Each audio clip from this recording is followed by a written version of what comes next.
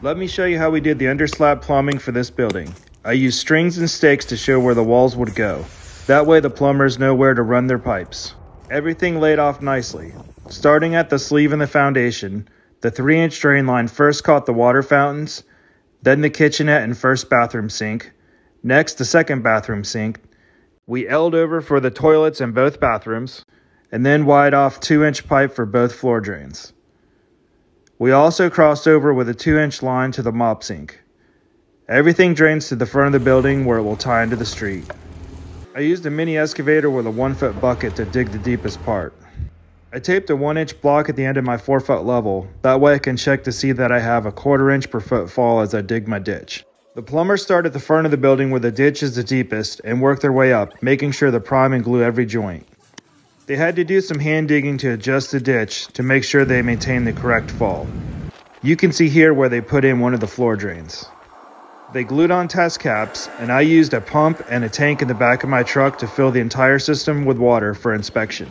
We filled this 10 foot tall pipe all the way to the top with water. Here's the layout. This 2 inch electrical conduit goes from the sub panel to the main service.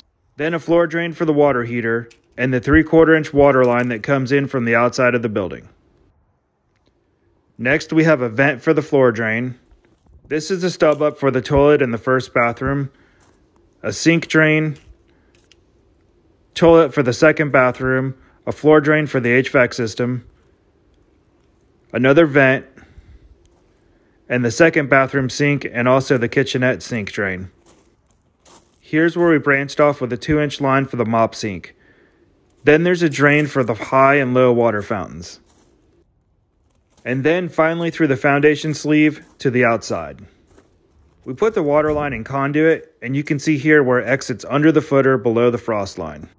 This is a second water line that will go to the other end of the building.